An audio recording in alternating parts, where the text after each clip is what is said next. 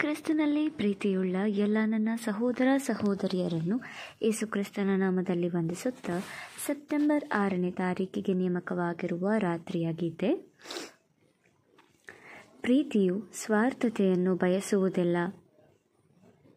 ಹೊಸ ಒಡಂಬಡಿಕೆಗಳಲ್ಲಿ ಪೌಲನು ಕೊರಿಂಥದವರಿಗೆ ಬರೆದ ಮೊದಲನೇ ಪತ್ರಿಕೆ ಹದಿಮೂರನೇ ಅಧ್ಯಾಯ ಐದನೇ ವಚನ.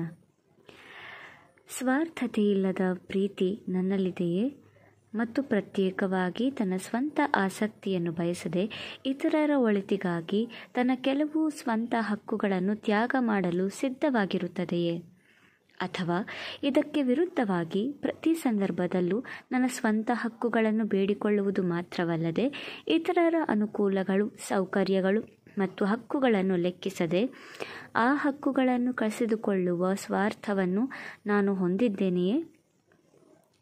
ಈ ಪ್ರೀತಿಯನ್ನು ಹೊಂದುವ ವಿಚಾರದಲ್ಲಿ ಇತರರಿಂದ ನಾವು ಯಾವುದೇ ಲಾಭವನ್ನು ಅನ್ಯಾಯವಾಗಿ ತೆಗೆದುಕೊಳ್ಳದಂತೆ ಎಚ್ಚರ ವಹಿಸುತ್ತೇವೆ ಮತ್ತು ತಪ್ಪು ಮಾಡುವುದಕ್ಕಿಂತ ಕೇಡನ್ನು ಅನುಭವಿಸಲು ಆದ್ಯತೆ ಅಥವಾ ಮುಖ್ಯತ್ವ ನೀಡುತ್ತೇವೆ. ನಾವು ಇತರರಿಗೆ ಅನ್ಯಾಯ ಮಾಡುವುದಕ್ಕಿಂತಲೂ ಇತರರಿಂದ ನಾವು ಅನ್ಯಾಯವನ್ನು ಸಹಿಸಿಕೊಳ್ಳುತ್ತೇವೆ.